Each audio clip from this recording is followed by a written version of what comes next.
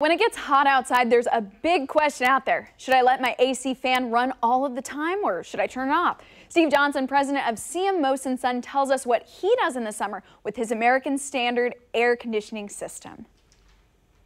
You get asked, should we run our fan? And, and, the answer is yes and no. It depends on your system. If your American Standard Heating and Air Conditioning System has been installed within the last three, four years, the answer would be yes. And there are so many benefits from doing that. Most importantly, it keeps your air circulating and it keeps a constant temperature in your home so you don't have those hot and cold spots all over the house.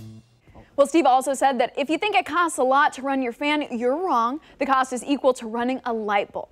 CM Mose and Son is offering a free Royal Caribbean cruise for five nights with any qualifying install purchase of an American Standard heating and air conditioning system. For more information, just call 816-781-4707 or go online to cmmosinson.com. We're back after this.